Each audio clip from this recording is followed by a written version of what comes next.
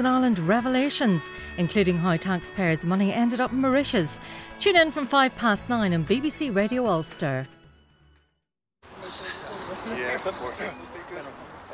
Following the arrival of Syrian refugees to a small Irish town and the problems both they and local people have encountered in the Hotel for Refugees, in half an hour here on BBC One Northern Ireland, after this week's Spotlight.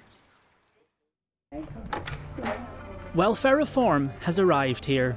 It's time to say goodbye to Disability Living Allowance and hello to PIP, the new personal independence payment. Good afternoon, you're through to the Independent Welfare Changes Helpline. More than 100,000 people are being reassessed as they move across to the new benefit. Many are losing out. We're seeing clients who had DLA for life um, being reduced down to, to nothing. The title is Personal Independence Payment, and by taking away my car, they were taking away the, the, my, my ability to have a little bit of independence. But those behind the changes say the new benefit is working. It is light years better than the old benefits. We are getting more money to the right people, and that is a good thing.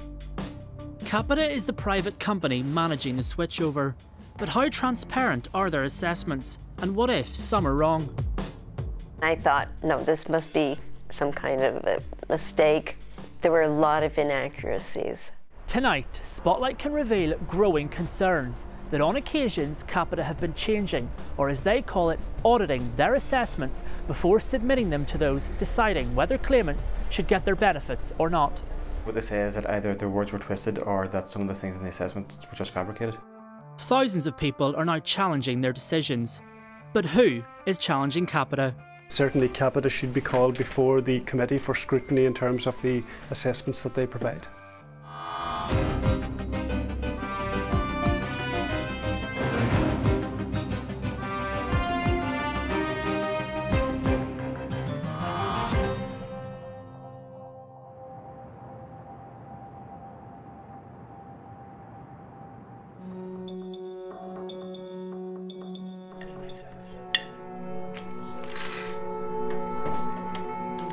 This is Martin Murtagh. He's 66 and lives in sheltered housing in North Belfast. His family have been devastated by dementia. Two of his sisters have already died due to the illness. A third is in a nursing home. It was so sad, and I usually break down when I talk about it. I don't know how I haven't broke down. I can still see them. I can still see them as if they're sitting there. I don't want to forget them. In Martin's home, labels have been put up to help him to remember to do things, because now Martin has been diagnosed with dementia as well. Martin's sons take it in turn to look after him, but after seeing the rapid decline of their three aunts, they are worried about what lies ahead. Me and my three brothers, we all try and come down, try and would take turns staying or cooking or you know, helping my father out. I mean, it's all you can do, really, isn't it? Be there for your family in their time of need. I know it's going to get worse, but there's nothing to do about it. Under the old system, Martin was on lifetime DLA. He is now being reassessed under the new system, PIP. Personal independence payment is much harder to get than DLA because it places less importance on your diagnosis. Instead, what counts is how well you can function on a day to day basis. Martin comes along to this dementia support group once a week. And I'm Lil, and uh, I have dementia. I'm Martin, I have dementia. Through submitting a Freedom of Information request, Spotlight has discovered that more than 125,000 people across Northern Ireland will have to be reassessed to see if they are still eligible for benefits. Campaigners think those with dementia shouldn't have to go through the process of being reassessed, but almost all of them will. There's nobody around this table here sitting try, try, trying to fill the system. We have dementia. Dementia at some stage is going to kill us. Most of this group are due to have their benefits reassessed, but because they look physically healthy, some are now frightened to leave the house.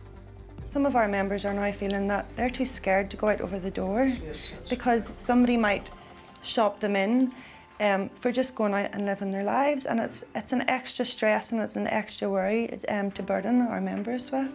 Highlight sort of what it was like to go through. Just move this round for you. Martin is starting to go through the reassessment process. His family has found the paperwork very difficult. Some of the questions on it about the toilet, about the shower, about the dressing, about the cooking.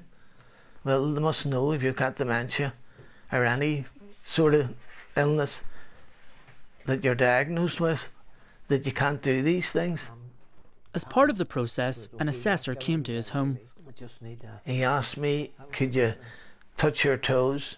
He says, What about the toilet? M- Martin answered that he takes me to the toilet, he showers me, they do the bath bathroom check, they do the cooking. You being able to touch your nose or put your hands in your head or t- whatever, touch your toes.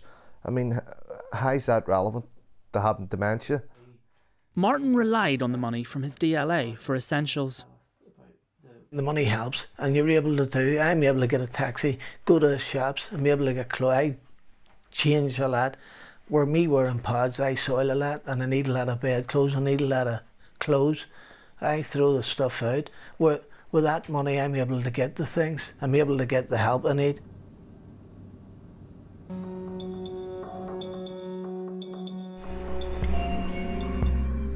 How you doing, Peter? Hi, Good nice to see see you. you again. Yeah.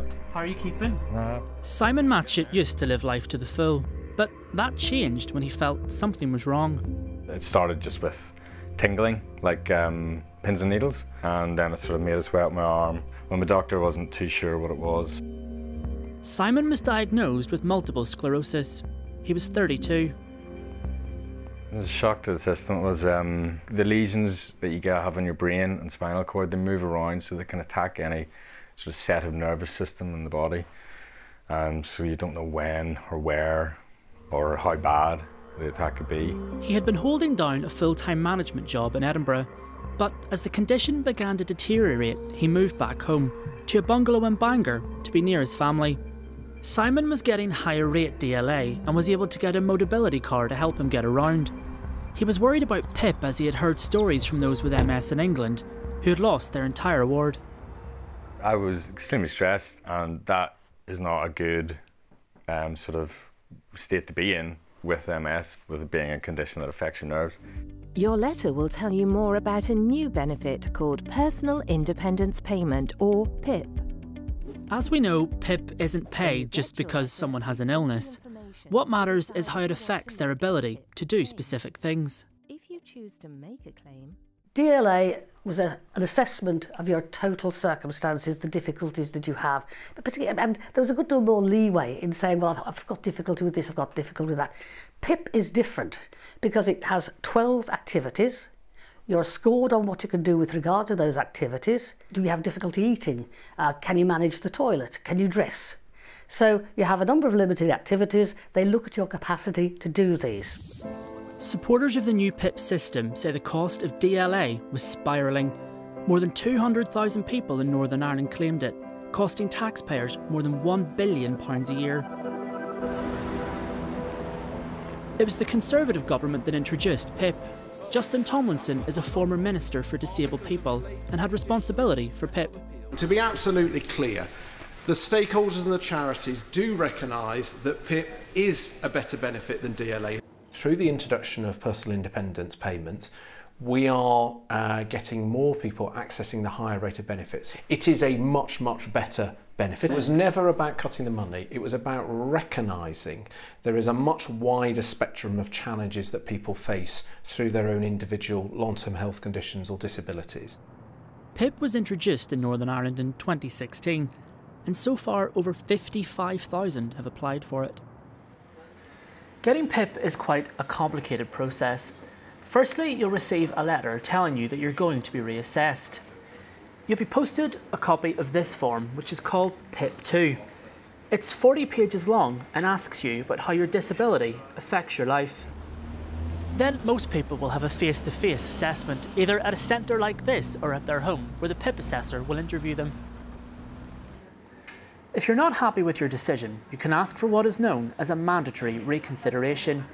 This is where you write a letter to the Department for Communities asking them to look again at your case and you can provide further medical evidence. Finally, if you still aren't happy, you can bring your case here for appeal, where you'll face a panel of legal and disability experts. Jill Frey Pullen suffers from muscular dystrophy, an acute form of it. She's the only person with this particular type in Northern Ireland. She and her husband David settled here after he began working as a test pilot for Shorts in the late 90s. They volunteered in Newtownards Food Bank, itself on the front line of dealing with the fallout of PIP. We've seen an increase in people coming along to the food bank specifically because they've been, maybe been on high rate and it's been reduced to the low rate, so then they're kind of trying to manage on that, or it's literally been cut altogether. So people are really having to come to the food bank because their DLA has stopped. Yes, definitely. Jill has also had her disability reassessed for PIP. My legs are almost useless. This type of muscular dystrophy impacts on just about every body system. I'm just a, a, a carer for her, and uh, so I can't really go anywhere alone without the thought, is she all right? I have come back um, from being out and found her on the floor. Jill had been on higher rate DLA. She qualified for a mobility car which was able to hold her electric wheelchair. Capita, who won the £65 million contract to deliver PIP in Northern Ireland, sent an assessor out to see Jill. She assumed she had transferred straight over to PIP because of her condition. My reaction was she'll come in, she'll check me out, um, and she'll see that I obviously can't do a lot of things for myself. And um, I really didn't think there would be any difficulties at all. But then a letter from the Department for Communities brought a nasty surprise. I was, I was pretty optimistic that it would be okay, but I prayed over it anyway, and I opened it up, and I could not believe what it said. I was absolutely in shock. And I thought, no, this must be some kind of a mistake. They're not talking about me. And I realized, yes, they were talking about me. And things that were written in the letter, there were a lot of inaccuracies.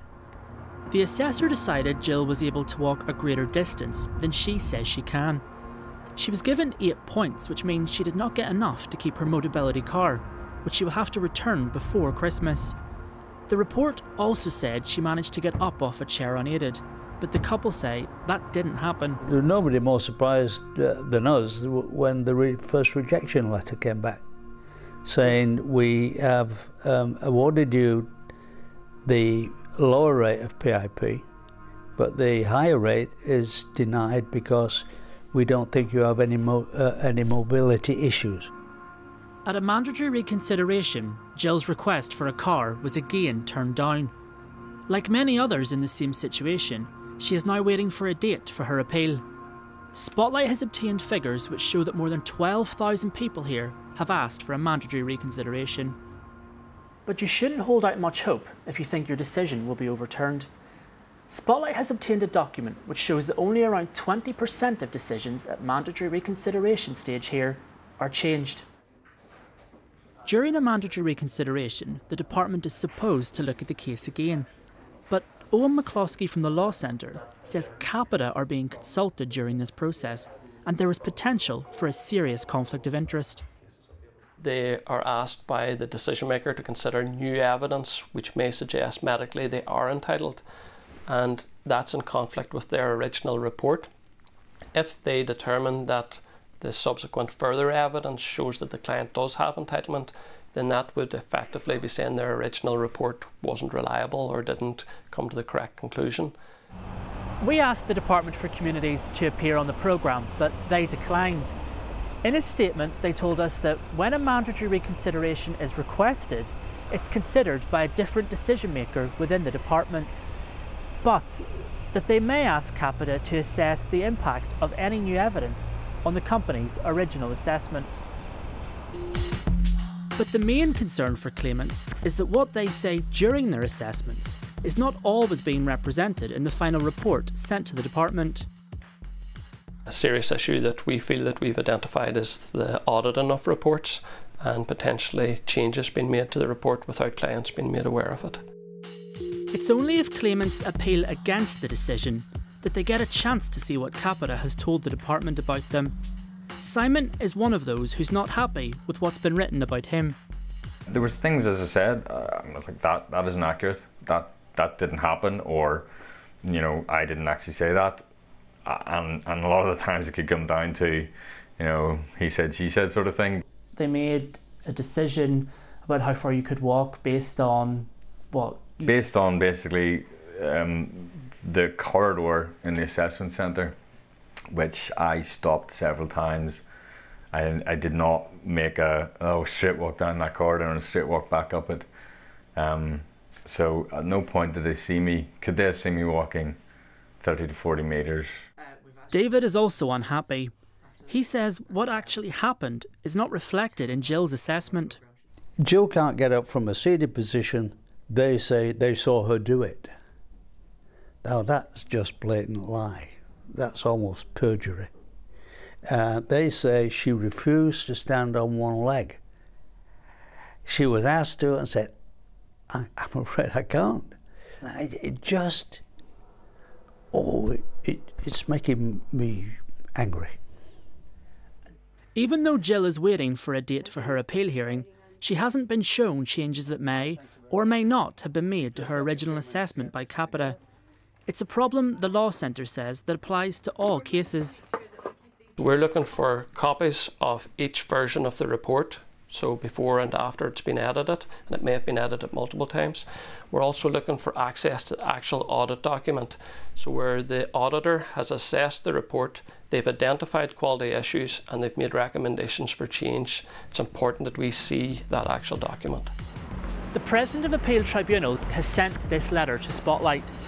In it, he says that tribunal members have expressed concern about the auditing practices. He says he's been in regular contact with the department about the issue.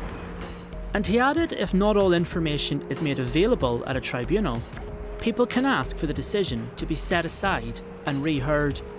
But after Spotlight put these points to the Department for Communities, they told us that arrangements are now in place to facilitate earlier versions of assessments being made available an arrangement not in place in the rest of the UK. But what of Capita? We asked them to take part in the programme, but they declined. We sent them a series of questions about the people featured in this programme and about their auditing process. They said we didn't provide them with enough personal information to allow them to comment on the individual cases. They said they had a robust auditing process in place to ensure a high quality of assessments and said their staff are healthcare professionals who are trained and empathetic. They added, if anyone has a concern about the process, they can contact Capita directly.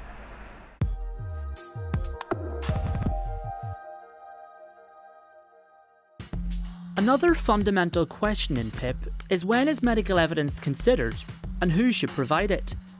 Like all claimants, Simon was asked to give details of his health professionals on his assessment form and assumed Capita would contact these people. It asks you for so much information. All the information of the medical professionals who help you. Um, they're the initial thing you put in, so neurologist, doctor, MS nurse, um, occupational therapist, um, to which I later found out they don't actually contact them. Capita told us their official guidance says it's not always necessary to ask for further medical evidence. This is something that the BMA in Northern Ireland has noted. There does seem to be instances where there is no initial medical evidence sought, uh, and we would only hear uh, whenever the patient uh, go goes for appeal, so that is the first time the medical evidence is asked for. In the midst of this confusion, some claimants have themselves been going to their GPs to ask for letters confirming their disability. Doctors say this is extra work, and some feel they have to pass the cost on to the patient. Dr. Stout charges just over £30. Is it morally right that doctors could charge for this? I think that is, is something that's very destructive to uh, doctor-patient relationship. We're ultimately here to, to treat patients and to try and keep them as well as possible. And to be put in, in that sort of a, uh, of an environment or that sort of a transactional uh, thing is, is very uncomfortable for everybody involved. Raymond Crowe is one of the few people in Northern Ireland to have completed his appeal. Following an accident, Raymond suffered facial injuries, which left him with a speech impediment. He was also left blind in one eye, deaf in one ear, and had to have a number of his fingers amputated. He also walks with the aid of a stick. Fed up with people staring at me. I've seen me walking through Belfast, getting spat at, getting punched. One boy in particular, after sitting in a, a restaurant, that's when the woman says, uh, don't hurt it. If I look at you, I want to win the. And it's tough. I can't fight the whole world. All right? I am the way I am. Raymond had lifetime DLA and qualified for a mobility car and a care component. After being attacked and spat at on buses, he says the car was his own safe space and gave him the confidence to leave the house. But that car gave you a little bit of confidence. A lot of independence. He also had to go through a face to face assessment. The first time I went for the assessment, I was talking to her for half an hour, and she says, well, I had to put this in. And I says, well, since I've been talking to you for half an hour, and I don't understand you perfect. I've shown my speech from I was 14 years old. No matter who I talk to, can not understand me uh, on something used to me. So to not understand, it took her half an hour to understand properly what I was saying. Despite this, in Raymond's assessment, it was noted that he could be understood and that he spoke clearly. It was also noted that he had a functional grip. Like Jill and Simon, Raymond did not score enough points to keep the higher rate that he was previously on under DLA, so has had to give back his car. Mm-hmm. More and more people are taking their case to appeal. There, they can present additional medical evidence. Tribunal reps say they've seen a huge increase in demand for their services. Since the start of September, it has been flat out, sometimes doing two or three day appeals per day. The group say many of the clients they represent have succeeded in having their assessment decision overturned at appeal. No one that we speak to is happy with the assessments. Usually, what they say is that either their words were twisted or that some of the things in the assessment were just fabricated. You know? The government don't agree with this interpretation and say that the reason appeals are successful is simply because people provide more information. Quite often, the claimant will think, ah, I didn't raise that or I didn't have that, and they, can, they have an opportunity to go away and submit additional evidence. Therefore, the decision that was taken before was right on the information provided, but once additional information is provided, a different outcome comes. Shay Ross is representing Raymond at his appeal. Raymond has very visible disabilities, you know. It's someone who, uh, if an assessor were to look at, it's quite obvious there are things he can't do for himself. Raymond's best friend Jimmy says he was taken aback when he saw what was written in the report and found out that Raymond had been given zero points. Totally shocked because when Raymond's out uh, and about, Raymond has always someone with him uh, because of his um, uh, his uh, communication difficulties, his grip difficulties. He's got no grip in one of his hands, no grip at all. Uh, Raymond's case was was baffling to think that he ever had to go to the tribunal. Raymond is still deeply affected by the assessment and feels the whole process has completely belittled his disability. What would you say to them now? what would you say to the assessors and people now? Come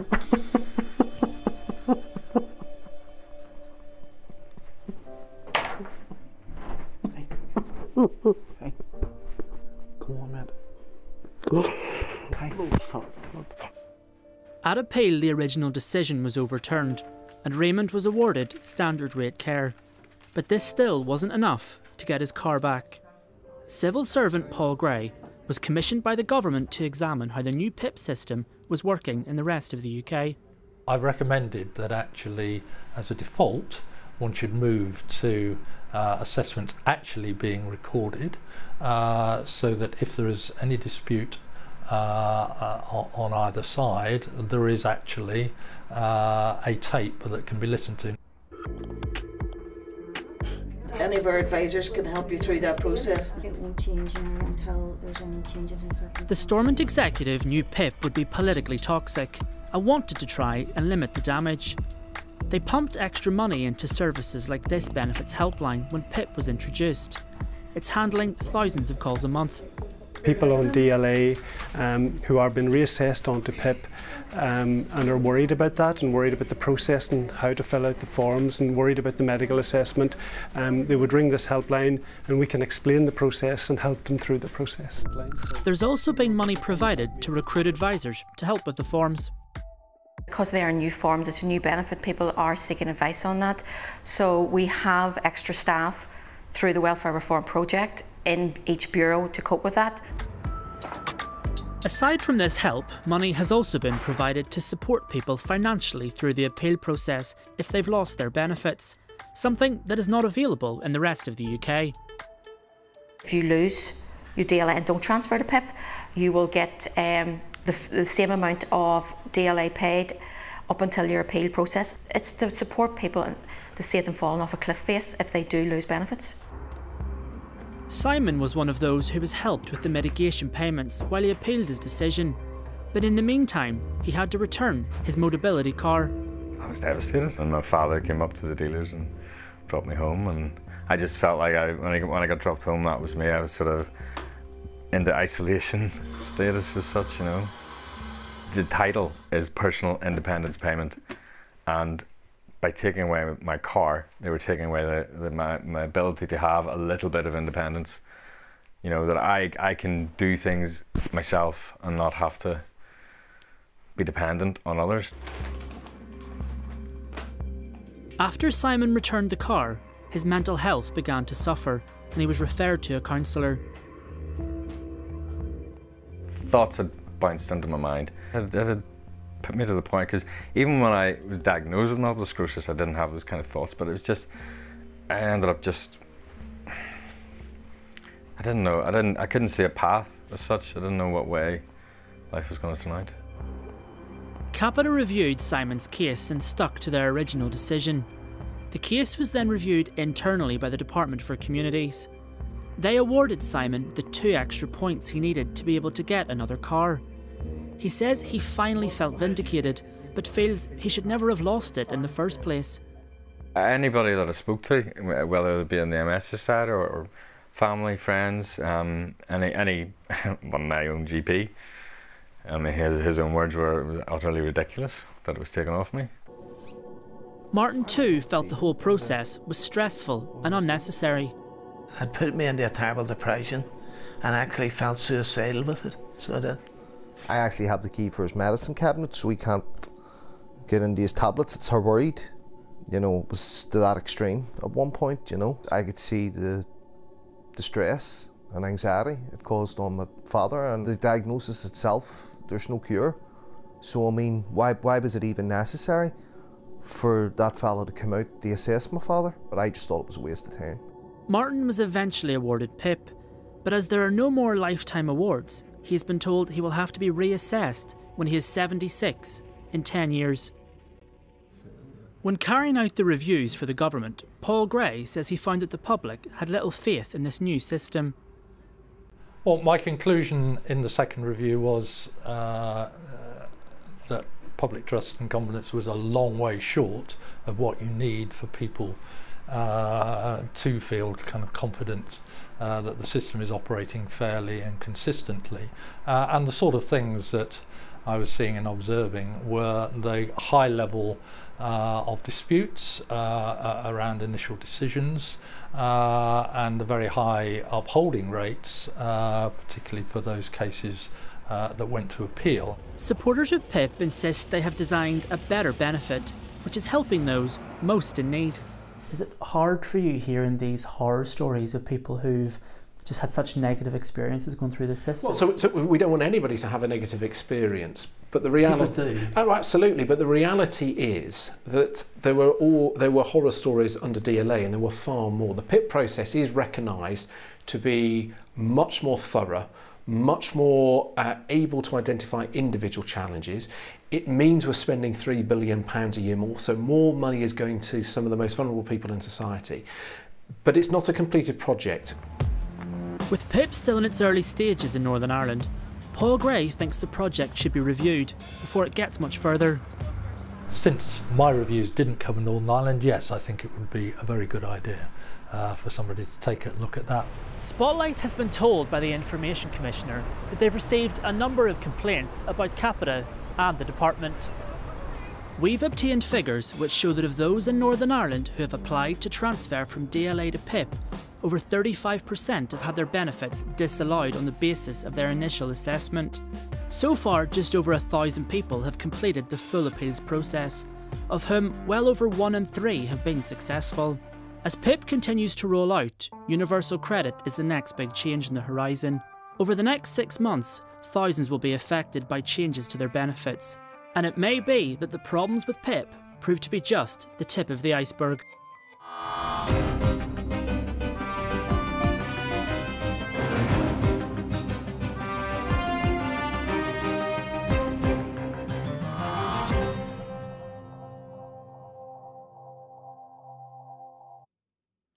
Details of organisations offering information and support are available at bbc.co.uk slash actionline, or you can call for free at any time to hear recorded information on 08000 156 775.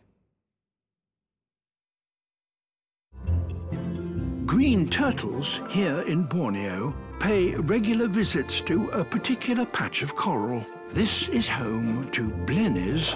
They clean the visitors, picking off any parasites they can find. Blue Planet 2 continues Sunday at 8 on BBC. We'll be getting some exclusive performances from his latest album. And having a very revealing chat about my music and my life. That's Sam Smith at the BBC. George Lamb travels the country to